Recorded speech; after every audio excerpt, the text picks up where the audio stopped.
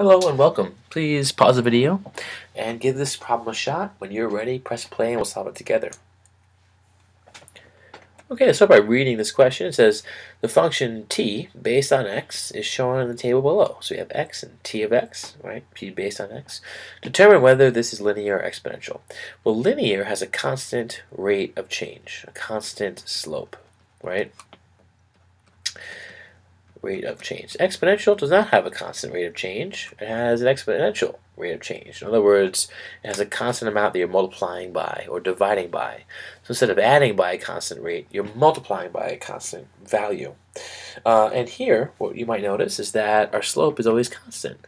So for example, uh, if I do 10 minus 7.5, I get uh, 2.5, right? And then here, negative 3 minus negative 1, I get negative 2. So our slope is 2.5 over negative 2.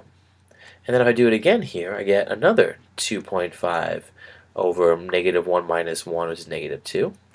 So it's again the same slope, and so on and so forth.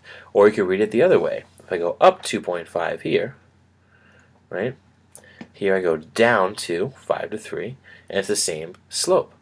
Another way you can read it, I'll just change color.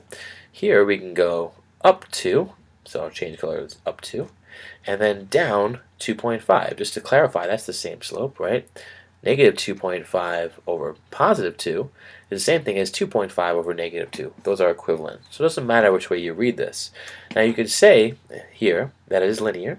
You can explain it by saying it's linear because this function right, has a constant rate of change. And you could say that is m equals 2.5 over negative 2.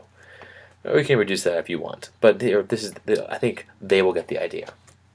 All right, hope this helped.